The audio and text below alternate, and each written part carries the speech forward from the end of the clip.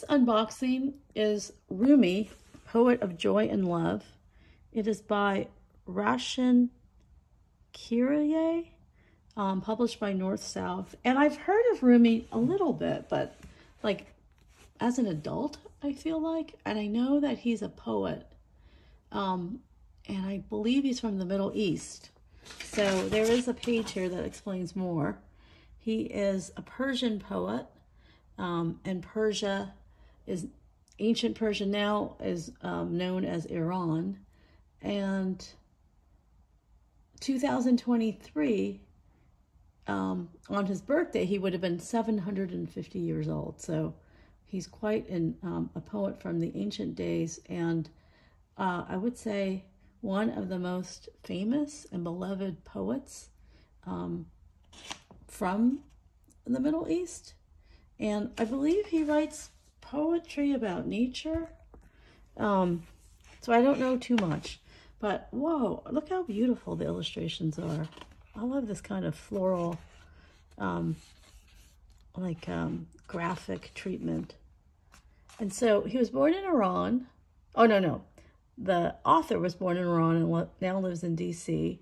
And she is an Iranian illustrator, um, you know, lauded and, um, you know, as you can tell, like just a very beautiful um, illustrate. Like her images are just quite incredible. And so this is just the story of little Rumi's life growing up, how he came, what his life was like, it looks like he moved to Turkey. He became a scholar. Um, he started writing poetry. Um,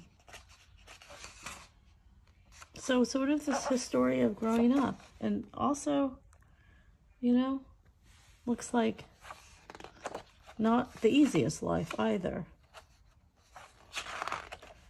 Um, Let's see. Is this Conference of the Birds?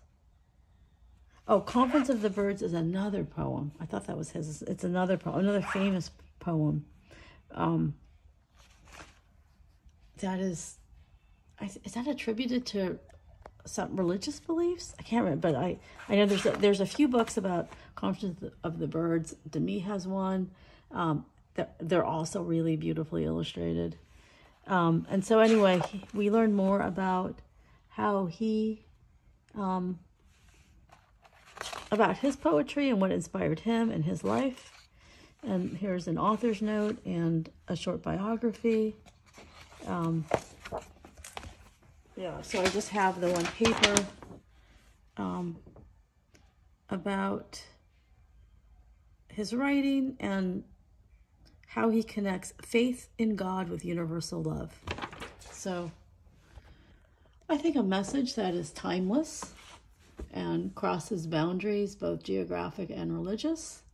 Um, and so um, I hope you all will enjoy the story of Rumi. Um, thank you to North South Books for sending me this book, and thank you for watching.